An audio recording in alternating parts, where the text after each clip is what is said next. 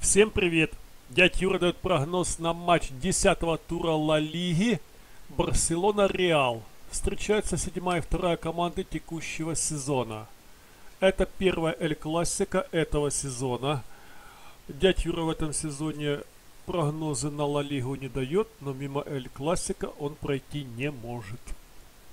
В предыдущем туре Барселона выиграла 3-1 у Валенсии, сумев отыграться после гола, который пропустила уже на пятой минуте матча.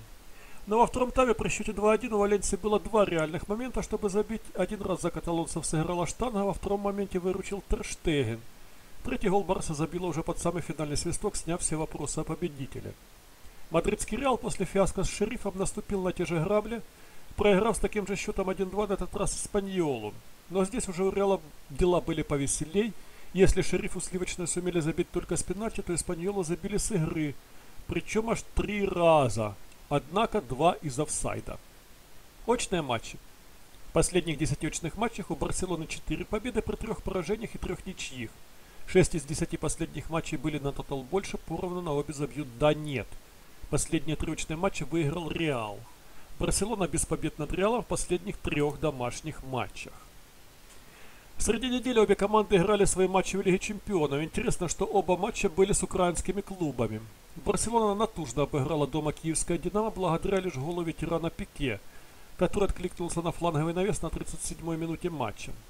Сильно много моментов каталонцы не создали, но правда и у Киева больших шансов на гол также не было.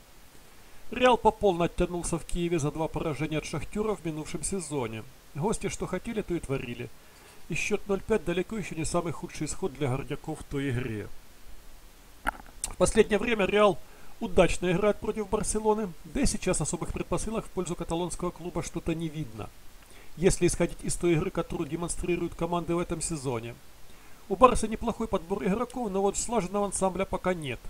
В реале дела в плане командной игры на порядок лучше обстоят. Если у каталонцев лишь изредка проскакивают осмысленные действия в атаке, то у Реала с этим аспектом все в порядке. Другое дело, что иногда не везет. Но учитывая то обстоятельство, что в обороне каталонцы никогда сильны и не были, а Терштеген не может выручать постоянно, можно ожидать, что здесь гости хотя бы на пару голов точно сообразить сумеют. Скорее всего забьет и Барселона, у которой есть кому забивать.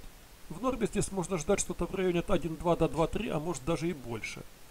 Шансов у хозяев выиграть матч немного. В лучшем случае каталонцы могут зацепить ничью. Победа возможна, если у Реала снова будет парочка голов из офсайда, а Трештеген совместно с каркасом своих ворот снова будет творить чудеса. Но на это рассчитывать в каждом матче нельзя. Из связки тотал больше 2,5 обе забьют до победа гостей. Самый высокий коэффициент стоит на победу гостей 2,55. На тотал больше 1,68, на обе забьют до 1,53. Пожалуй, на роль самого ожидаемого варианта здесь можно отрадить x2 за 1,53 но не видно, за счет чего нынешняя Барселона может обыграть нынешний Реал, если Фортуна не будет играть за ту или иную команду. Вариант Соби забьют да имеет такой же коэффициент и также смотрится вполне респектабельно, но если играть на таких невысоких коэффициентах, то лучше уж брать x2, поскольку это выбор 2 из 3. На роль оптимального варианта можно взять скромно 1.68 на тотал больше 2,5. Но должны бы здесь команды пробить планочку в 2 гола. Как правило, Барса и Реал играют серийно результативные матчи. После длинной низовой очной серии последние две очные игры были на тотал больше, поэтому можно ожидать, что и ближайшие пару игр также будут забивными. В качестве доходного варианта здесь можно взять чистую победу Реала за неплохие 2.55. Как ни крути, но сливочные сейчас получше выглядят своих оппонентов, да еще и в атаке. Похоже, у них все наладилось. Бензема так вообще феерит в каждом матче. Видно, что команда играет на кураже и остановить такой Реал будет очень сложно – Опять же, если за сине-гранатовых не подпишется Фортуна. Фанатам Барселоны, наверное, стоит в лучшем случае рассчитывать на ничью. На ничью стоит высокий коэффициент. Можно поставить, в принципе, и на ничью. Но шансы все же на победу Реала чуть выше. На этом все. Дядя Юра верит, что у вас все получится. Всем оптимизма и удачи. Будьте здоровы.